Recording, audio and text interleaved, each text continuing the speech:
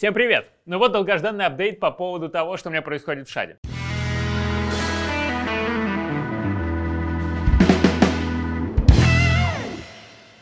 В Шаде у меня происходит три курса. Машинное обучение, статистика машинного обучения и питон.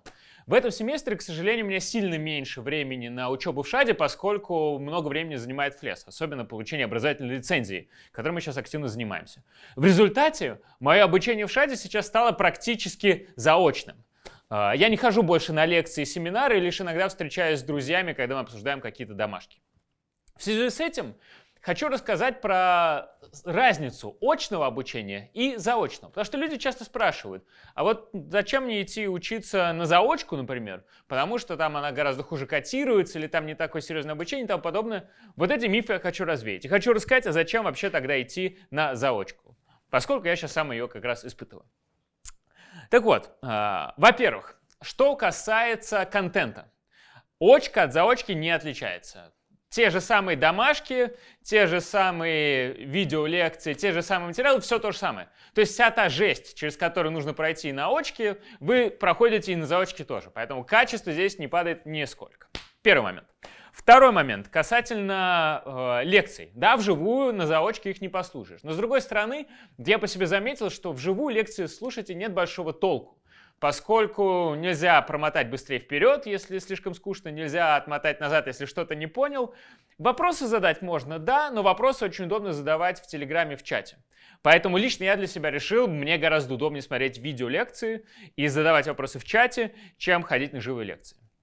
А, третье, по поводу времени. Конечно, гораздо эффективнее быть на заочке и учиться по видеолекциям и не тратить время на дорогу, чем ездить э, в ШАД. Даже несмотря на то, что у нас новый офис сильно близ, ближе к ШАДу стал, чем раньше, сейчас мы на Ленинском проспекте сидим, мне буквально 30 минут дойти до ШАДа, все равно время тратится. А еще лекцию нужно послушать, а еще за лекцию нужно прийти заранее и тому подобное. В общем, э, запросто на одну лекцию можно потратить часа два с половиной. Это много. А, здесь а, заочка или такой метод обучения, который я сейчас выбрал, сильно выигрывает. В чем же проигрывает а, заочка? Заочка проигрывает в общении с людьми. Все-таки, когда ты не ходишь в шат, ты ни с кем толком не общаешься, ты все домашки делаешь самостоятельно. Uh, ну, ты как бы и так должен делать домашки самостоятельно, понятное дело, но всегда есть возможность обсудить, когда ты находишься в шсаде.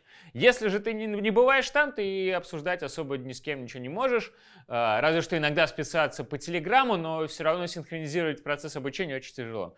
В итоге получается очень скучно сидеть самому зубрить домашки. И кроме того, не получается выстраивать отношения с людьми так, как хотелось бы. А ведь в очном обучении э, отношения с людьми, с которыми вы учитесь, и которые сохраняются потом многие годы, это одна из ключевых, вообще самых крутых вещей.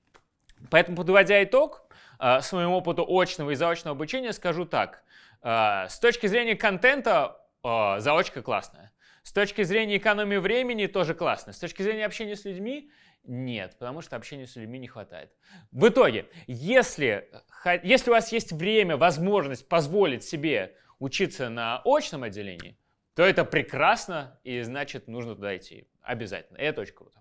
Если нет такой возможности, то заочка тоже очень крутая, она классно котируется, поскольку там вы страдаете, учитесь, делаете все то же самое, что на очке, и ничем не хуже, чем э, ваши друзья с очки. Поэтому идите туда, если нет возможности на очку. Ну что, вроде бы я все рассказал про шат пока что мог, но если у вас есть вопросы, пожалуйста, пишите, сразу с них отвечу. А, да, кстати, Начался отбор в ШАТ как раз буквально несколько дней назад. Э, очень советую пойти посмотреть. Там изменились требования по отбору, поэтому придется кое-что дополнительно поботать. Э, готовьтесь.